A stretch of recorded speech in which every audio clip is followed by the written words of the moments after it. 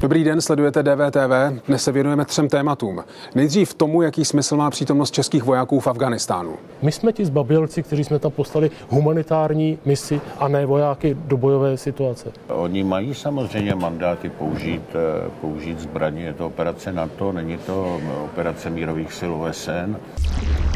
Další rozhovory o tom, jak se změní Národní galerie pod novým ředitelem. Mým ideálem by samozřejmě bylo postavit nový objekt pro Národní galerii.